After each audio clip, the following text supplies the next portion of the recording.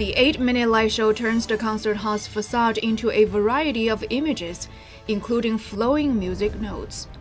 The team behind it has worked on a series of similar shows in the city, including the 4D countdown show on the Bund.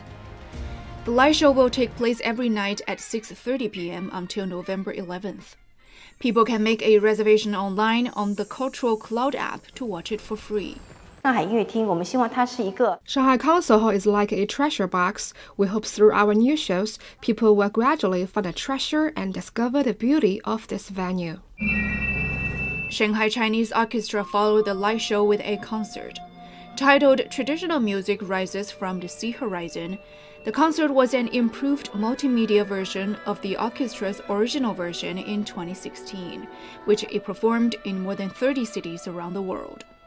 Shanghai Concert Hall was built in 1930 and remains a rare example in the city of a Western classical style building designed by Chinese architects.